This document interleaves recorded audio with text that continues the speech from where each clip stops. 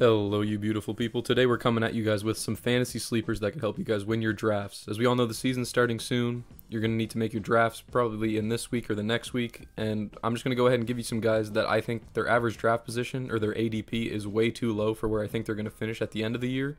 So, for example, if a guy's projected to finish as like the 100th ranked player, and I think he's going to finish as like the 60th ranked player, then that would classify as a sleeper, and that would be someone that I'd put on this list. So yeah, I hope that makes sense. These are more going to help you guys with your late round picks. And yeah, we'll just go ahead and get right into it. As I'm sure you geniuses probably put together from the thumbnail, the first player that I want to talk about and the biggest sleeper that I'm considering in like an ESPN's rankings and draft order and everything is going to be Kevin Porter Jr. So if we look at Kevin Porter Jr.'s average draft position right now, he's being drafted around 118th, and that is just way too low for Kevin Porter Jr. I am insanely high on him. I'm honestly expecting him to finish as like a top 60 player this year. I know that sounds like a bit of a stretch, but just hear me out. Last season, as soon as John Wall went down, he averaged 20.9 points per game, 6.1 assists, and three field goals, three three pointers per game. Sorry. And th- there was a lot of hesitancy because Jalen Green's coming in. Maybe he's not going to get a lot of ball handling. But I'm pretty confident that Kevin Porter Jr. is going to be running the one guard for the Rockets. He's a really good ball handler, really good isolation player, really good at like setting up his teammates. I've used a lot of really goods there, as you can tell, very descriptive uh, speaking as usual on the channel. But yeah, I'm expecting a lot of good pick and rolls with him and Christian Wood. Porter's going to have the ball in his hands most of the time. He's a score first player, but is capable of filling it up from the assists. And yeah, overall, I just expect a really good season out of him. He's going to be getting like 32 minutes a game, primary ball handler on a bad team, so he's going to have a lot of like leeway and green light in terms of shot making, shot taking, I should say.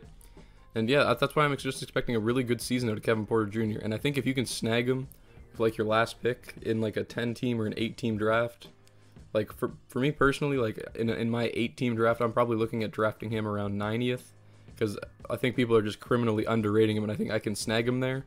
If people start becoming more aware of him because he is showing out in the preseason right now and his draft position starts going up, you might have to take him a little bit earlier than that.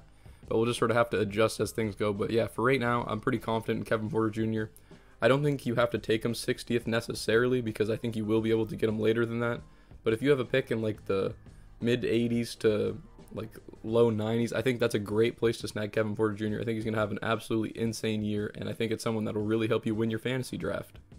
Next up is going to be OG Anunoby of the Toronto Raptors. OG is another player that I'm expecting to take a big leap this season, especially because of the way the Raptors are looking as, as so far as like their roster's currently constructed. I mean, Fred Van VanVleet's obviously the go-to number one guy. Siakam is out for at least another month, I believe, so OG is going to be like the number two option on the team in terms of scoring, and I, am expecting that to sort of translate to him having to create more of his own offense off the dribble, look for his own shot. We saw in the first preseason game, don't want to read too much into it, but he was sort of taking guys off the dribble more than he was in the previous season.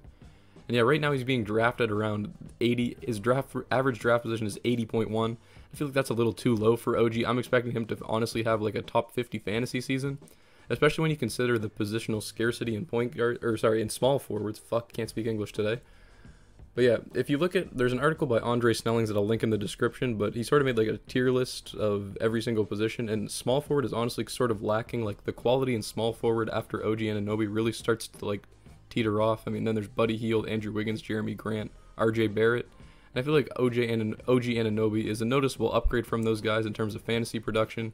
And then once you get past that tier six, which are like maybe passable guys, onto tier seven and below, it's just guys that aren't really that great for fantasy purposes. So yeah, that's why I'm really high on OG Anunoby. It's the fact that he's playing a small forward and he can play the power forward position as well.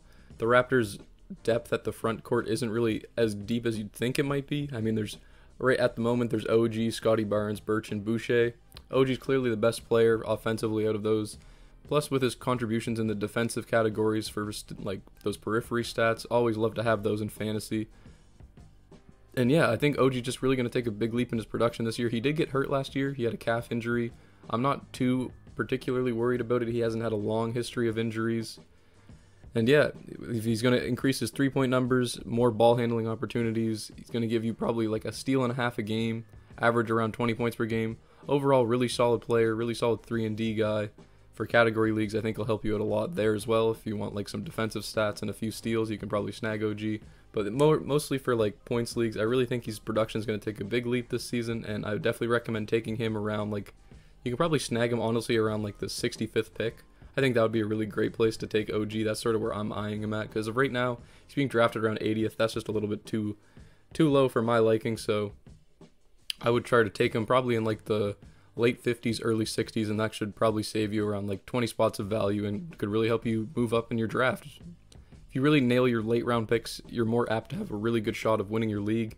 You really kind of have to like not fuck up your early ones because like if you screw up an early pick, you're not going to win your league. You don't really have a shot. But once you get those picks, you can be a little bit riskier, be a little bit more strategic, play at like what positions you need to fill. And yeah, that's why I think OG, due to all these reasons, I think he's a really great fantasy option, and I would highly recommend picking him if you have like a 65th pick roughly and you don't know who else to take. I think I would lean towards OG. So next up is one that I really don't understand why he's being drafted so low, but it's going to be Jonas Valanciunas. His average draft position at the time I'm recording this is around 104th. I'm expecting Jonas Valanciunas to have like at the very minimum a top 70 season. So if you can snag Jonas Valanciunas at anywhere around the 70th pick, I think you're getting an absolute steal. You're making like 20, 30 spots of value up. And really for like late round picks, I don't know why ESPN's thing is glitching. Like they have him projected to score around 2400 points this year, but he's ranked like 115th. It doesn't really make any sense. It's probably just a glitch or something, but hey, you can take advantage of that in your draft if people aren't too aware of what's going on or they're not too dialed in or like aware of the circumstances surrounding all of the players. Jonas Valanciunas is a very sneaky pickup. I'm probably going to target him around 70th if I'm in a points league and it's my pick and I need a center. Sort of planning my draft around like grabbing Jonas late. Like he's someone that I really think is going to have a lot of value late on in drafts. So if I can sort of take care of my other positions, there you can always grab like a decent center at some point. But I feel like it's really important to take care of like your small forward, power forward, and your guards early on in your draft. So it really just opens up. Jonas Valanciunas sort of saves me a lot of trouble. Gives me an opportunity to grab a really solid player late in the rounds. And yeah, I don't know why they're expecting his points to go down so much. He's playing with Zion and Brandon Ingram now, but I honestly think it's going to translate to roughly a, a, like the same output that he was putting up in Memphis. He's still going to have a lot of rebounds to grab. He's the best rebounder on their team by far.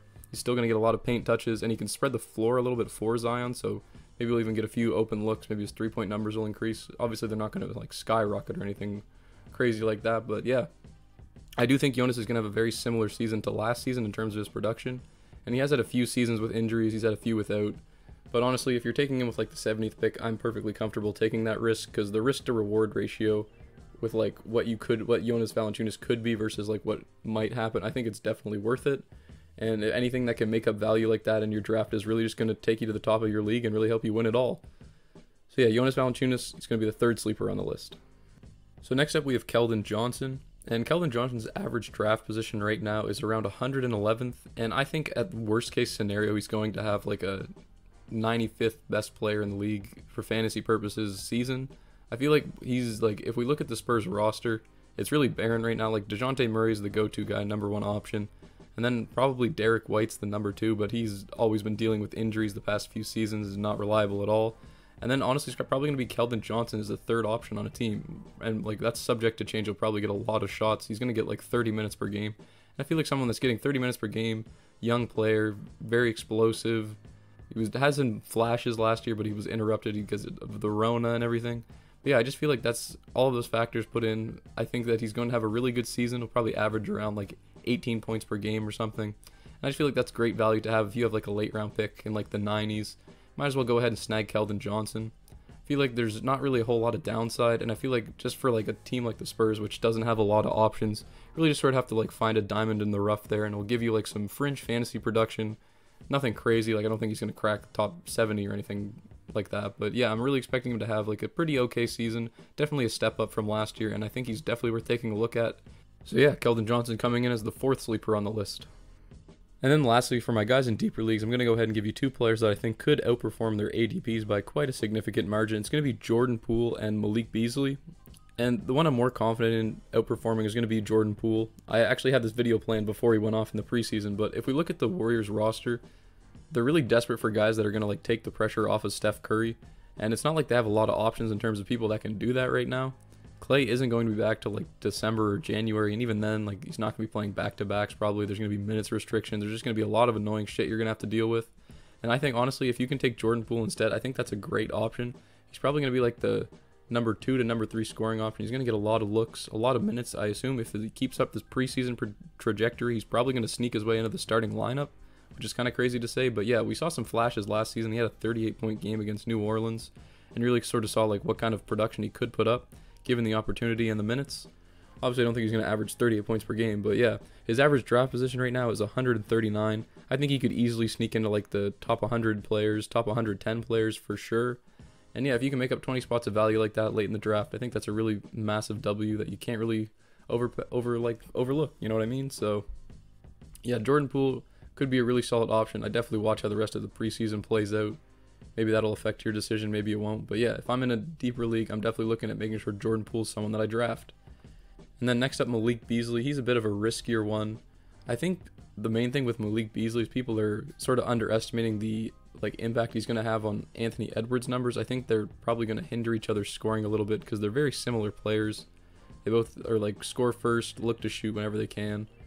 But yeah, Malik Beasley's average draft position is around 127. I could see him maybe sneaking into like the top 110, so not like a huge jump, but you never know. He's capable. He's like a prolific scorer. Guys like that, like they're capable of filling it up some games. Obviously, obviously everyone's aware of like the suspension. Looking over last season, everything he had an injury as well. But if you're drafting around the 110, 120 area, I say you might as well take a chance on Malik Beasley. He has a, a lot of upside, and if it's downside, you can always just drop him and pick up someone from waivers. So yeah, that's going to wrap up the video. Thank you guys very much for watching. My rankings, official rankings, are going to be coming out hopefully on Friday. I'm going to have to try to have it be like a top 50 or a top 75 total players. And then depending on like the how you guys are feeling about it, maybe I'll do like a, a top 100, add like 25 more players to that. But yeah, thank you guys very much for watching. Don't forget to subscribe. We're trying to hit a thousand subscribers by the end of the year. That'd be really awesome. Really appreciate that.